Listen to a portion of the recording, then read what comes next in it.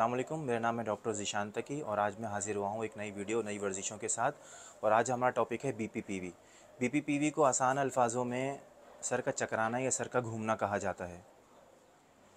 बीपीपीवी में आम तौर पर एक तरफ़ सर को घुमाने में या दोनों तरफ़ घुमाने में चक्कर आते हैं या सर को ऊपर ले जाने में या लेट कर करवट लेने में भी चक्कर आते हैं। सबसे पहले हम इसमें ये चेक करेंगे कि इनको चक्कर किस पोजीशन में आ रहे हैं। आप अपना जो सर है वो दाएँ तरफ़ घुमाएँ।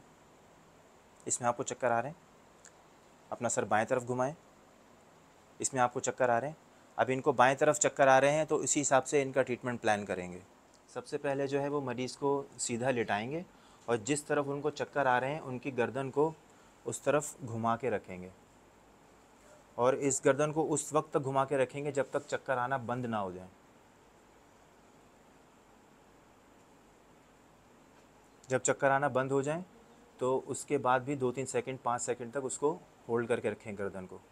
और जब इस पोजीशन में चक्कर ख़त्म हो जाए तो फिर इसी तरफ़ करवट लेके गर्दन को फर्श की तरफ़ घुमाना है। ये। और इस इस पोजीशन को भी उस वक्त तक होल्ड करके रखेंगे जब तक आपके चक्कर ख़त्म ना हो जाए।